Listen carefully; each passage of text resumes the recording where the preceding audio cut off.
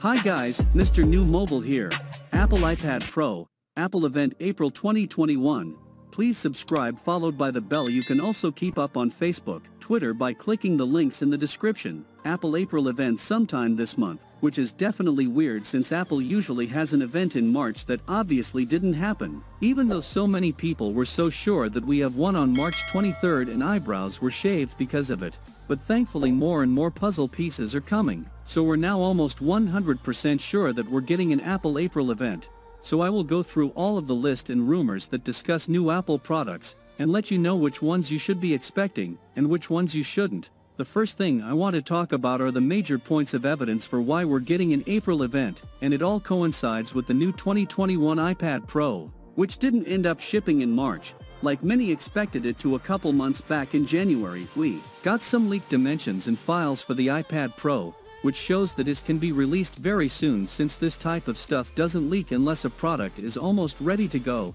Then a month later marketer, who is an incredibly reliable leaker, said that the iPad Pro is going to be as powerful as the M1 Mac, and this totally makes sense since we're expecting the iPad Pro to get the A14 chip with a CPU. Course and 8 graphics course in just a couple of weeks ago 9to5Mac discovered mentions of the A14X chip with an iOS 14.5 beta code, and this usually only happens right before product is released, for example, beta code mentioning the new M1 Mac leaks, just a couple weeks before Apple officially announced them in November of last year, and since 14.5 is expected to be released sometime within the next month, it perfectly matches up to the iPad Pro releasing at an April event. And to make it even better 9to5Mac found that the A14 chip is based on the T8103, which is the codename for the M1, so that the chips will likely be very similar, and going even further DigiTimes reported that volume shipments of the new iPad Pro will begin in the second half of 2021,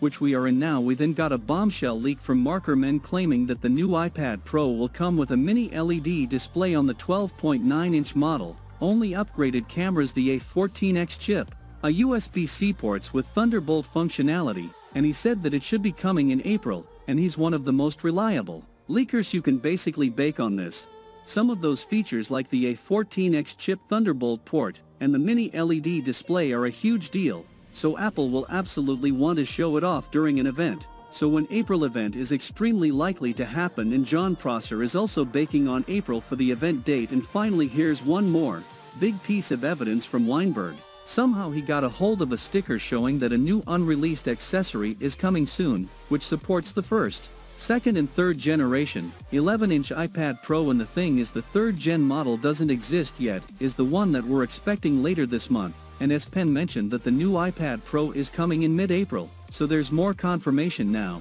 If you're wondering which accessory this could end up being well I did some research, and I think I know what to expect. I found the box of the iPad Pro Magic Keyboard case, and the sticker looks almost identical from the format to the way out in the various languages so this accessory is almost certainly an official Apple product, and I personally believe that it's a new second generation Magic Keyboard case for a couple of different reasons. First off we've been hearing rumors that it should be coming alongside the new iPad Pro which was supposed to be released at the March of events that never happened, so April makes sense for a release date, and if you're wondering how Apple could possibly upgrade the Magic Keyboard, they actually applied for a patent specifically for a new Magic Keyboard case almost a year ago. The images show a slide in the hinge the Apple Pencil to and apparently, it will also wirelessly charge. The Apple Pencil at the same time making it the perfect solution now getting into the next image shows a completely new hinge system essentially allowing you to raise the iPad Pro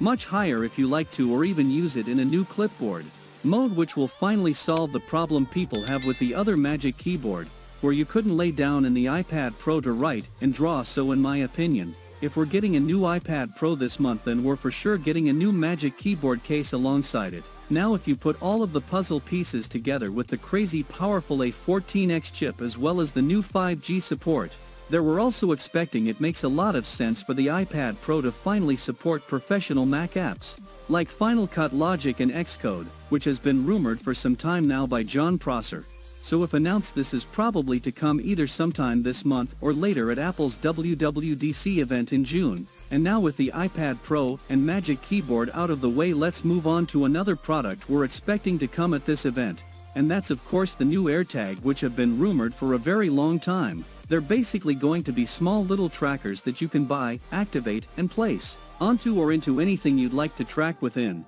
the Find My app so that way you can keep track your keys, your backpack, or anything else that you can think of, insistently coming with the ultra-wideband chip built in. You'll be able to open up an augmented reality view in your Find My app and literally see your AirTag through objects like inside of your couch. Just using your iPhone the battery life can be excellent at least a full year or two and the best part is that AirTag will probably have wireless charging since we've seen so many leaks and rumors pointing to that feature coming and the way it's gonna work is incredibly simple, you just put the AirTag on the back of your iPhone 12 or newer for half an hour, and then it's fully charged because I don't know if you know this or not but the latest iPhone 12 secretly supports reverse wireless charging for accessories. Apple never mentioned this because they probably were going to release the AirTag alongside the new iPhone for the AirTag were of course delayed over and over again now, on top of that recent leaks and rumors are pointing to it being smaller than expected, just a bit larger than 1 over 4 but around 6 millimeters thick,